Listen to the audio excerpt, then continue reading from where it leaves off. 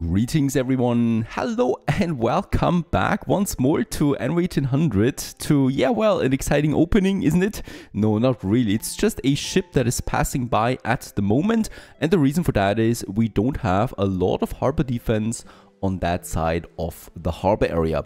Of course, we would like to change this right away since I'm getting attacked there quite often and we do have quite the quite the uh, the firepower over there already. And of course we can continue over here and look at that. The range of course makes it possible. I think we will not be needing all of these sand mines here. I could even yeah use it like that. Perfect. And with that we can move some of these fire towers over. Actually we're not moving them over. We're rather just going to build them right away. And I would like to go ahead with let's make it three of them on that side of the harbor too. I'm looking towards the the entrance, the entrance area that we have right like this. Um, with that, defending that area will be fine. Now we are back in, yeah, in Panagos, right, our growing town. We have a few more building materials again, even though we're still kind of like short on steel beams usually, which is of course required for a lot of things, especially when I'm looking at upgrading all those engineers. Um, it's We're really severely limited by that. Windows we have a lot, bricks is also coming in again at a higher rate, but it is those steel beams. Now there's also here the problem with the school, it's not really a problem, I'm just going to move a bunch of buildings around um, until I meet all the requirements again. And with that, we have then the artisans in this area as well that we can upgrade. We have nighttime once more in a growing town. And of course, there it is. We can continue with a bunch more upgrades to engineers. As I continue my way into the deeper um, city area, right? I would like to go ahead. We have 3,500 workers. That is just way too much. And of course, we continue with upgrading them to the next level. Um, as especially they give me taxes. That's what we need, as we are also pushing towards the mid 30,000s um, that we have in the city. Now, what could we do here um, right now? I want to boost my steel beams production, of course. We're producing 8 per minute right now, and this is not enough at all.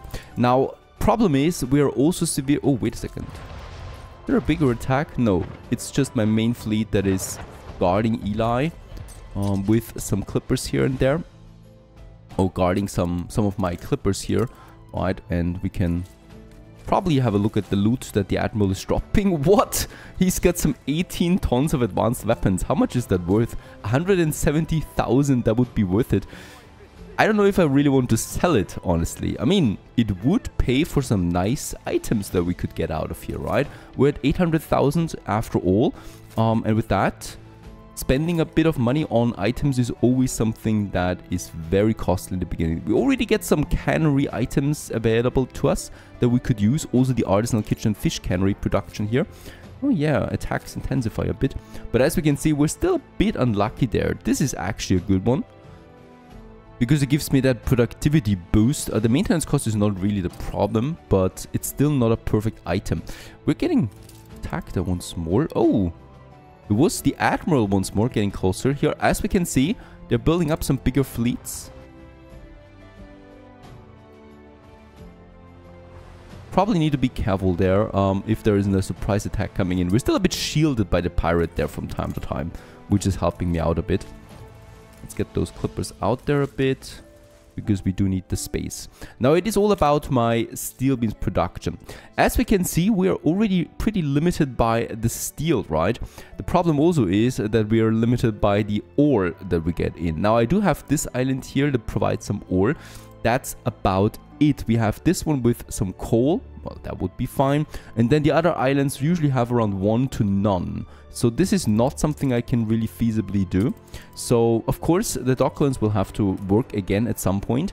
Um, over here I am getting all of that in with the the sewing machines and I would like to continue on this route now with the the iron ore that we get in right so we can make it so that we we get um we're exporting so let's just have a look at that. The sewing machines for iron ore. And as we can see, with just 50 tons, we can get over 400 tons of iron ore in, which is amazing.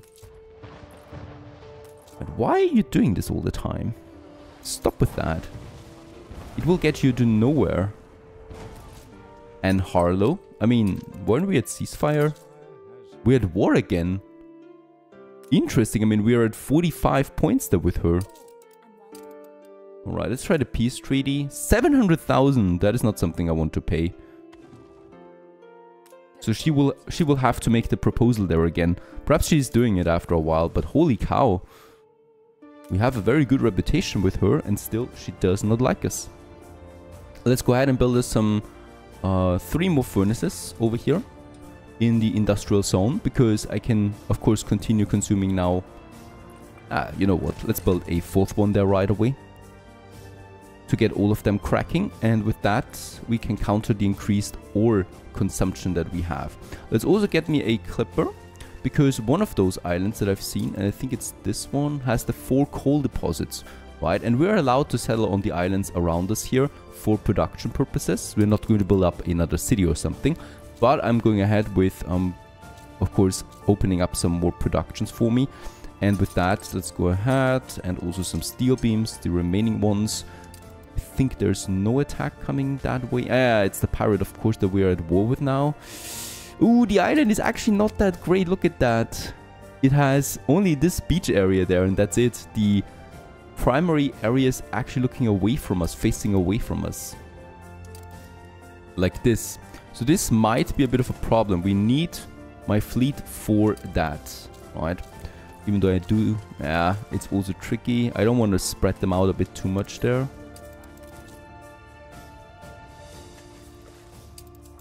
Hmm, where's my shipyard? We don't need to produce more warships there. No steel beams.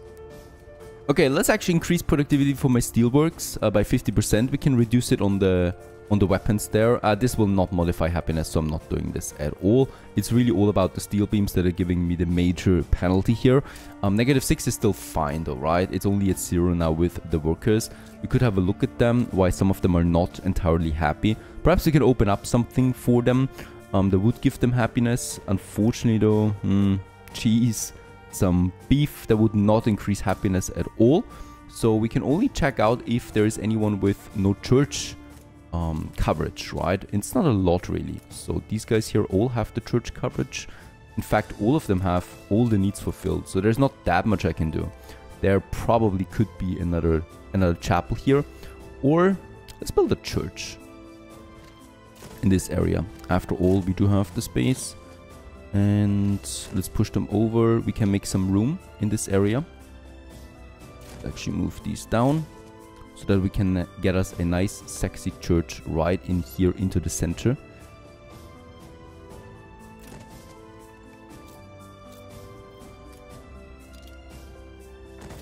Looking, of course, towards the harbor area.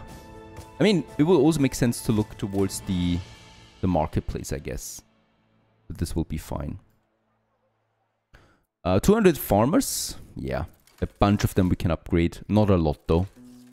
It just needs to make sense a bit when it comes to the city districts then. Alright. Hmm.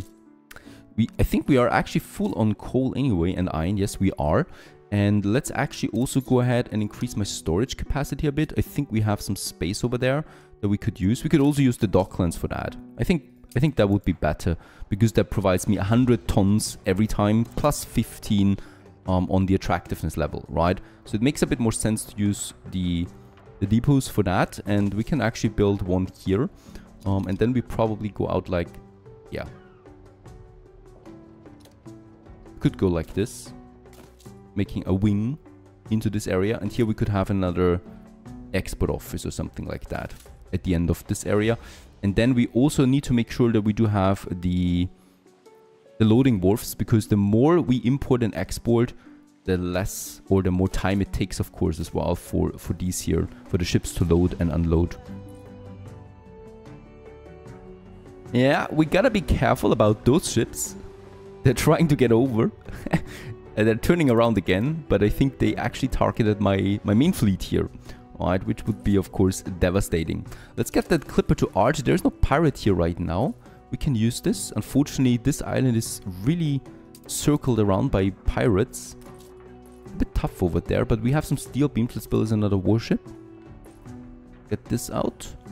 And get this to Archie, selling the gold, and then Archie should actually have, yep, 150 tons of steel beams available there too.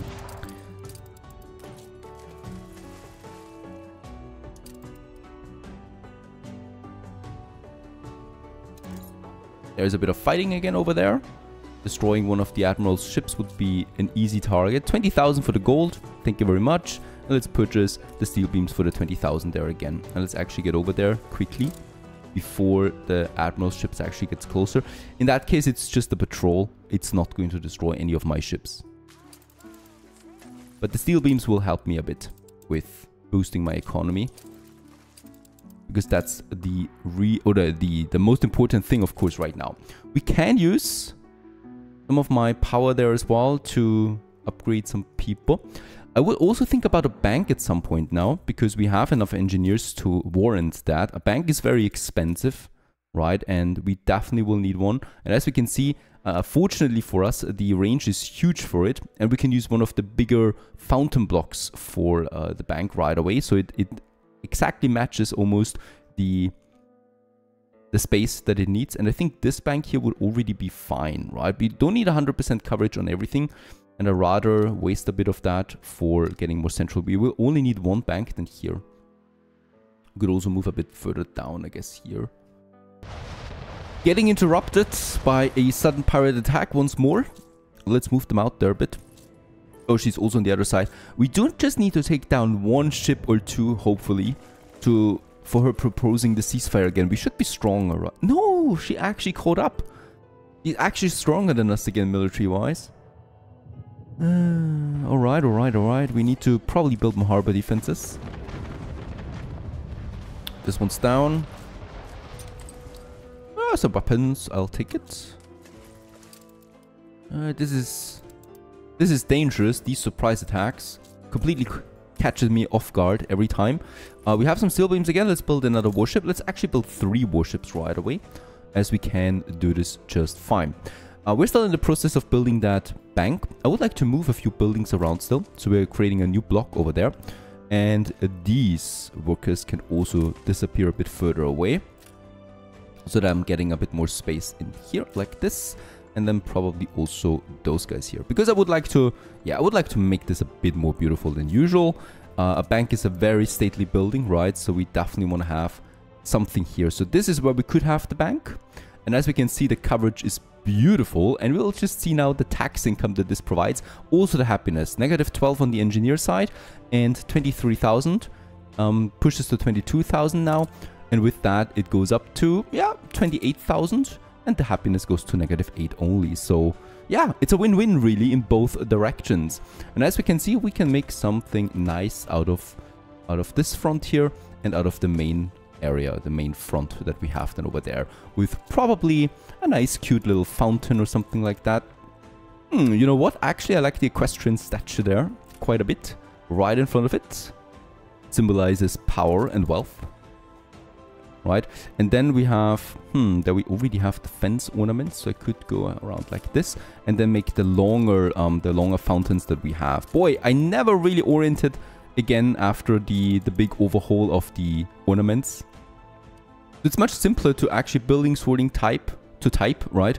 And with that we have the fountain category and there we have the fountain square then. Otherwise it would be just really hard to, to get this done. Now there it is, a, another fountain area, right? And probably then in here we could have just some double road really leading to the, to the bank so that we have a proper entrance there. As the sun is rising once more, we have a beautiful new landmark building, honestly. It's the biggest one that we had so far. Bigger than the university for sure. Where people can do their businesses. On the back, we might just have some smaller entrance, right? And there is actually here the the engineer residences that we have. So this is the back entrance to the bank. Um, and there's also a nice little fountain area then that we have. Perfect. By the way, we have a quest over there, a resident quest from investors? Last time I checked, we don't have investors yet. All this running around the city has left me starving. It is sure beautiful here, but how can I enjoy anything with a rumbling stomach? If only I could savor the view with a juicy piece of local meat. What do you want exactly? 8 tons of fish. The investor wants some fish. This is actually totally new. Of course, we're going to hand it in the quest. And we're also getting... Oh, alright, we get sausage next. Now I think it's time for the main course.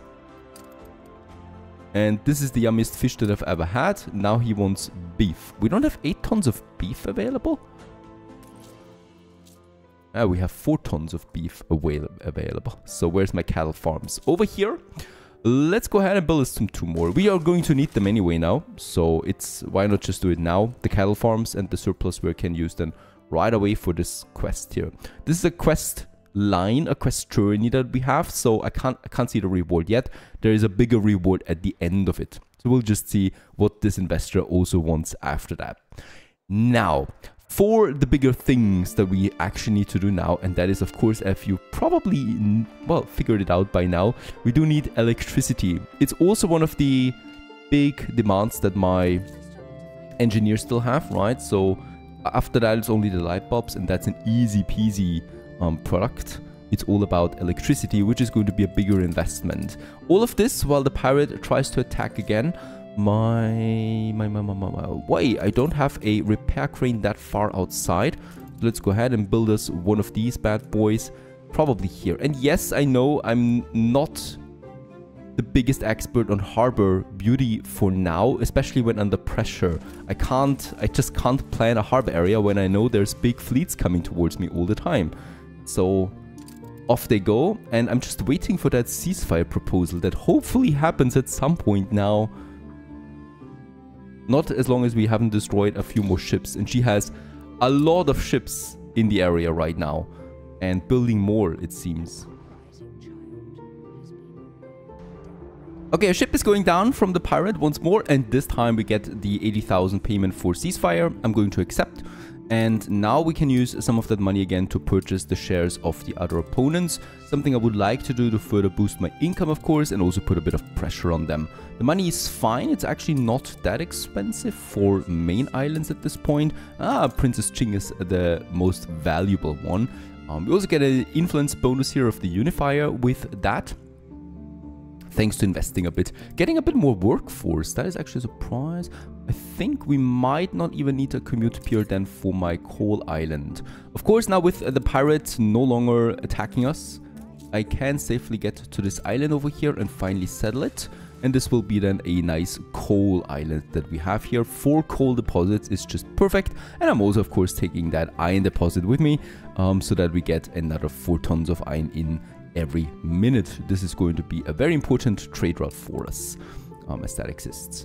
The yeah, Admiral is taking a bigger circle around my my island now. For the Admiral, of course, there is the problem, right? That he is over there and he needs to get to the New World via Panagos, more or less. So he now needs to take a bigger uh, route for that, which of course is, well, making me happy a bit. Now, Samson, a new warship comes out. We need to really up my navy a bit. And we have the beef. There it is, also with the meat lover. Next up, what? He wants bread. Alright, let's provide. And... Damn right, that's the stuff so juicy and tender it melts in the mouth. It just needs a nice crispy brown toast on the side. And... He continues to offer me quests. The content creator and the visitor introduced himself as Dennis Brammen, a content creation specialist who says he can amass plenty of subscriptions for your newspaper if you'll just take a picture of one of your pig farms to run alongside his article. Why? Let's try it out.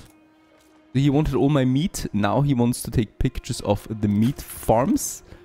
We'll just see where this leads us. Has been taken. Alright, let's eat the town. Join Dennis Brammen in his culinary adventures as he discovers local delicacies. You'll never believe the fourth one. This is actually, I mean, in all my years, I've never seen this questline before. Is that a new one? Interesting stuff. And he continues to give us quests. The gang reunited. Ah, Dennis Argyle was a complete success. He's come to like you and your island a lot, so he's invited his whole group of friends to visit as well help him find him at the pub and find the Piet Smiet, uh, the Piet gang. So this is a German YouTuber. And where is it? Over there. There they are, singing and laughing. and looks very similar to said content creator. And we get Dennis Brammen, the food critic. All farmers and worker residences gain a bonus income. And what was the last one that we needed here? Oh, that it actually provided uh, bonus happiness from pops and also bonus supply with bread, sausage and fish when they're actually um, supplied with the pop. And you know what? Let's actually use this bugger. There we have nice little space in here um, that I would like to use for a town hall, my first one that we have so far. Um, we can, yeah, nicely use it like this beside the chapel so that it also has its nice special entrance. And of course it has the surrounding area of a lot of workers here and farmers. We might actually upgrade them as well. And all of them of course have the pub um, happiness fulfilled as well. So the item goes into full effect here. And let's boost them up with that. Hooray, there it is. Getting some bonus happiness now, which we actually need quite a bit since my farmers and workers are not the happiest bunch. And the workers gained a bit of that. Also bonus supply, I like that because it reduces my consumption of sausage, fish and bread with all of these people in the radius here. And I'm not expected to, um, or I'm not expecting to upgrade these guys um, very well shortly. Let's upgrade some more workers here. We still have a lot of them that we can push. And as we can see, that's the stuff. Right over here as well. In this whole center around the bank, right? So the bank is my centerpiece there for now for upgrading people close to it. We can also upgrade these guys here to artisan. So that's another nice mass upgrading thanks to having a lot of steel beams in store again. And we probably should also make this right here. For some reasons, it switched around the letters. With that, we are only at 1000 workers. We have, of course, full-fledged rights over here, which is reducing my my workforce. So let's get us another police station right in here. Hopefully, they will deal with whatever problem arises. And I just love how the fire uh, firemen actually pushed through the crowd and they were pushed away. And look at that. They must really hate the person living in there as they're throwing torches at it.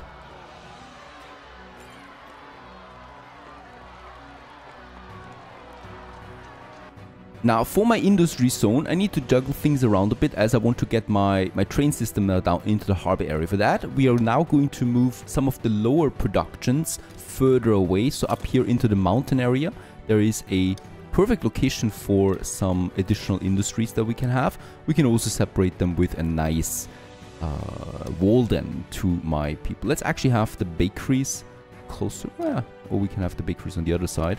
Or I'm just pushing them a bit further like that. This will also work. We have another triple road here, just in case we want to get a train up there at some point. But at the moment, I have no plans of such. Let's have them like this. We will definitely need some warehouses.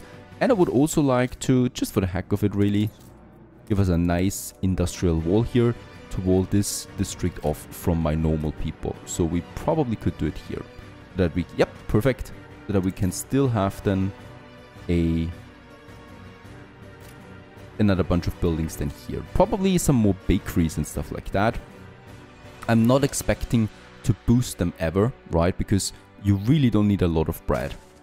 So we can just basically squeeze them in here and make lots of room in the industry zone where we prepare of course a lot of space and infrastructure for the higher tier productions that we're going to need here at some point.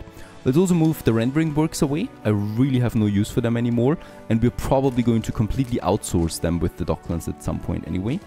By the way, also very important, I should not forget about my clipper to settle on this new island that we have over there. Not the best weather for it, but at least it's done, and we do get 100 workers out of that. We're not going to make a city here. Rather, I'm going to get some more building materials over to build me a commute pier. We have the influence spare for that, right? 300 at the moment, which is a lot. And for that...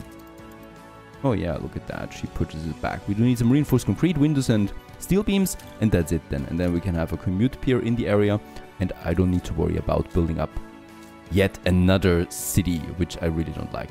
Let's get uh, all of this over. It's quite a lot, really. A commute pier is quite expensive. And I think...